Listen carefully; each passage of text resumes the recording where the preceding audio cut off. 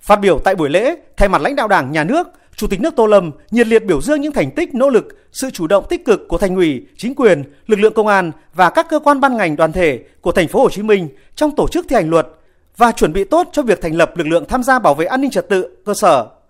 Chúc mừng lực lượng tham gia bảo vệ an ninh trật tự ở cơ sở tại thành phố Hồ Chí Minh và trên cả nước đã chính thức được thành lập và đi vào hoạt động từ ngày hôm nay.